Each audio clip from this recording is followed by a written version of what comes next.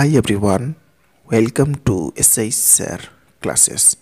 Today in this video we are going to learn how to represent a proper fraction on a number line. So in this video I am going to represent a proper fraction on a number line in easy way. So please watch the video till the end. So let's start the video okay. So now first discussing about proper fraction. So first of all what is a proper fraction? So first discussing about the definition of a proper fraction. Okay. So here a fraction so here a fraction in which the numerator is less than the denominator. Okay? So a fraction in which the upper part numerator and the lower part denominator. So if the numerator is less than denominator then we called this is a proper fraction. Now i am going to take some example to clear the concept. Okay? So first taking here an example.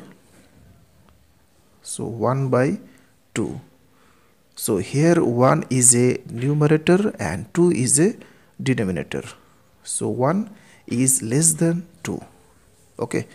Now taking another example 3 by 4 here 3 equals to numerator and 4 equals to denominator. So here 3 less than 4 so this type of fraction is called proper fraction. Okay.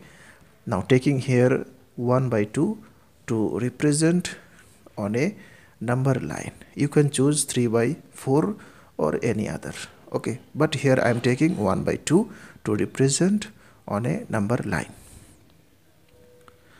So here first we have to make here a number line. So first drawing here a line of any length and then taking arrow mark on both side.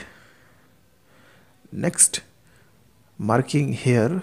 So marking here the starting number 0 and now I am going to take here a 2 centimeter length. You can take 1 centimeter 3 centimeter 4 centimeter as your choice. But here I am taking 2 centimeter length by this way to mark the number on the line.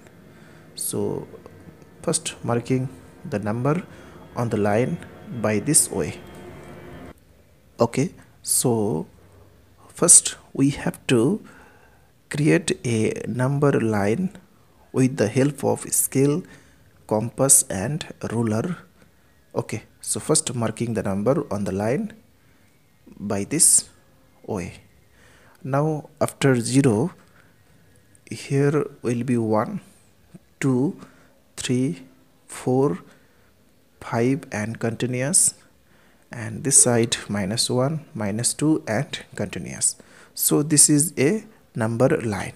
Now representing 1 by 2 on this line. So 1 by 2 lying between 0 to 1 so 1 by 2 lying between 0 to 1 and we know that the length between 0 to 1 equals to 2 centimeter.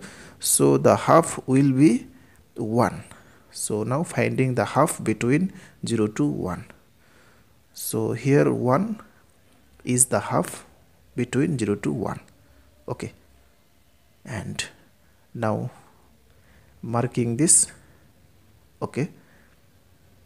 So this is 1 by 2 on this number line. So from 0 to this this is 1 by 2 on this number line. Now taking point O and P.